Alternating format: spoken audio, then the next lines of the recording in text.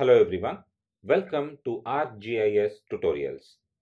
In this video, I'm going to demonstrate how to perform resolution merge or pan sharpening using ArcGIS software. Let us first understand what are the requirements for performing pan sharpening. Pan sharpening requires a low resolution image and a high resolution image. For this demonstration, I'll be using the multispectral image which I created by performing layer stacking in my previous video. If you want to know more about layer stacking using ArcGIS, I would highly recommend you to watch that video by clicking on the link shown in the top right corner right now and I'll leave the link of the same in the video description below. Coming to the high resolution image, I'll be using the band 8 of the Landsat data. Let us now import these bands into the ArcGIS software. I'm going to start first with band 8, which is the panchromatic band of the Landsat 8 imagery. Right, this is band 8. Let me show the properties of this. Okay, so in the layer property window, if you go to source, you will note that the cell size is 15, 15. That means this band has a spatial resolution of 15 meters and this will play as the high resolution image for pan sharpening operation. Let me now import the multispectral low resolution image. Okay, so this is my low resolution image. I have named it as LS which stands for layer stack. Let me show the properties of this image very quickly.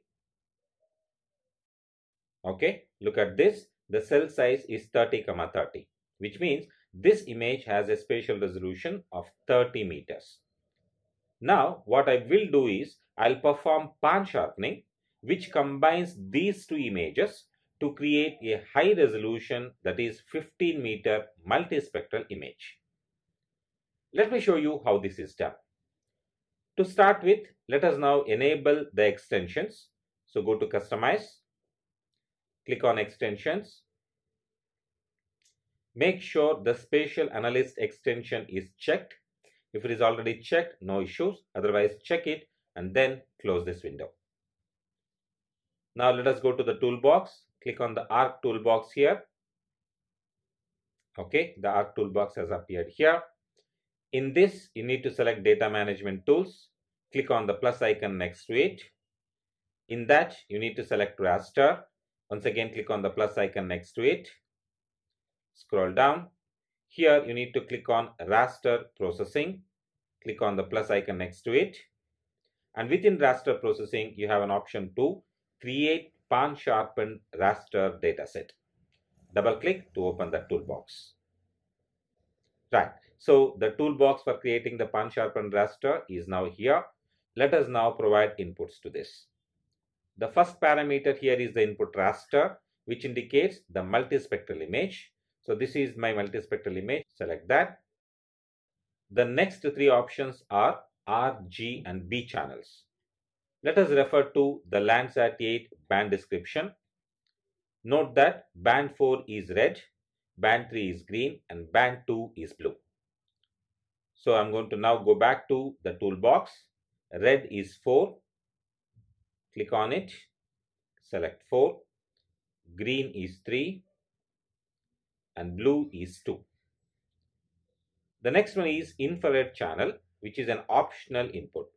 However if you look at the band description you will note that infrared actually is band 5 so i will now select band 5 as infrared.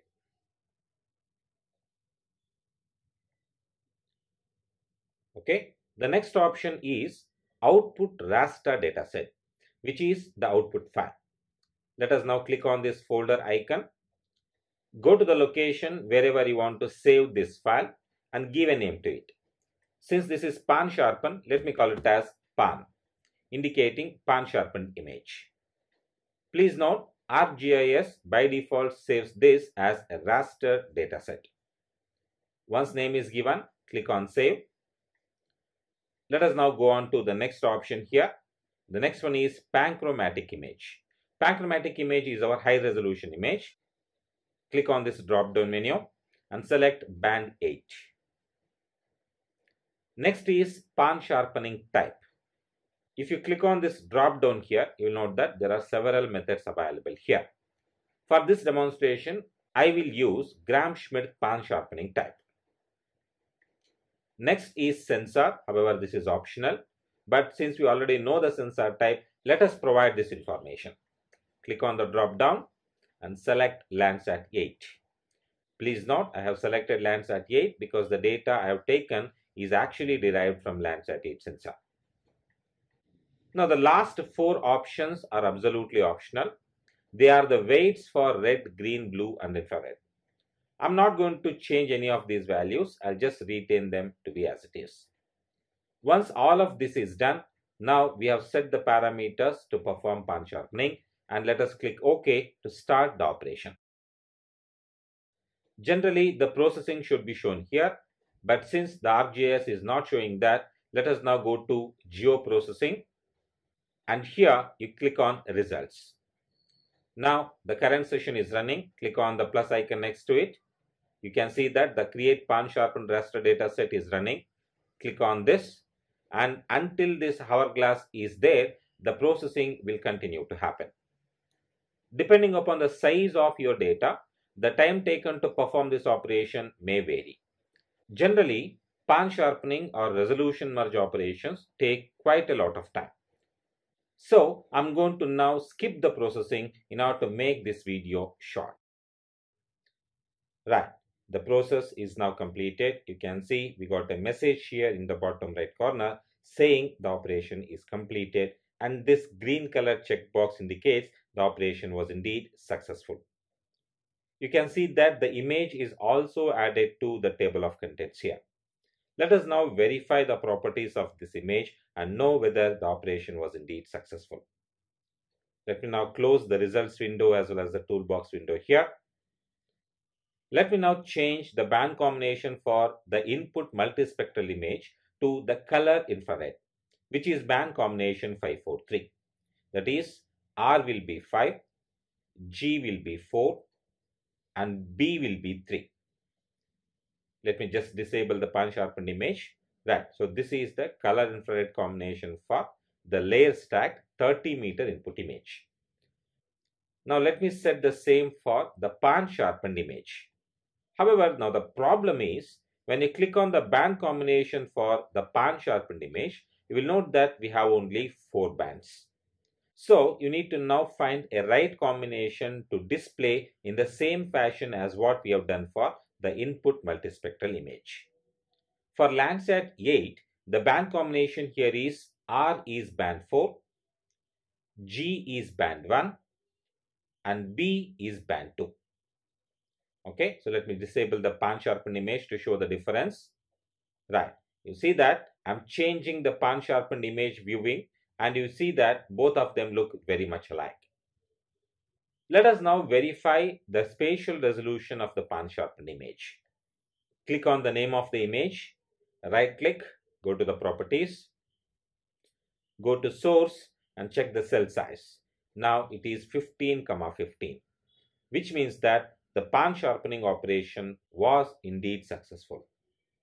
Let me now just close this.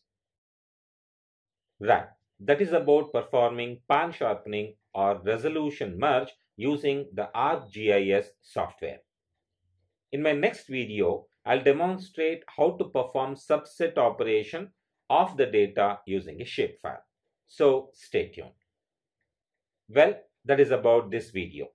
If you like this video, kindly like and share this video and subscribe to my channel for more tutorials on ArcGIS.